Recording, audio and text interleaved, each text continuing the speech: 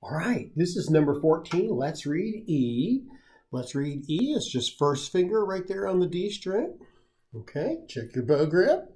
Make sure everything's staying exactly right. Don't let this thumb come crunching up there like that or get stiff.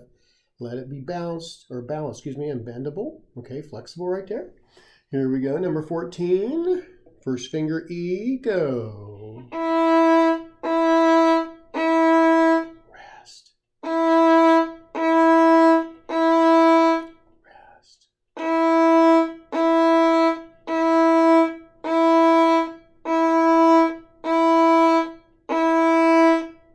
podcast.